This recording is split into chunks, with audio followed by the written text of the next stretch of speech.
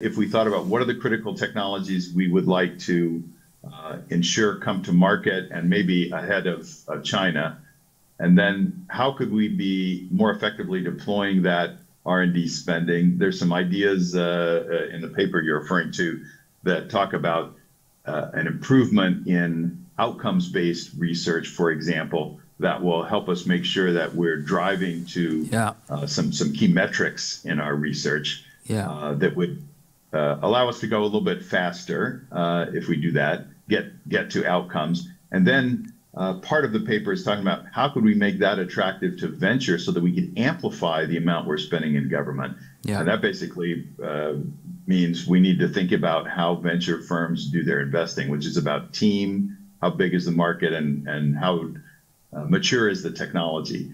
And if we had that in mind as a government, uh, then we'd allow both private equity and venture capital amplify this R&D investment that we're Yeah. making and ensure it's more widely developed, more widely adopted.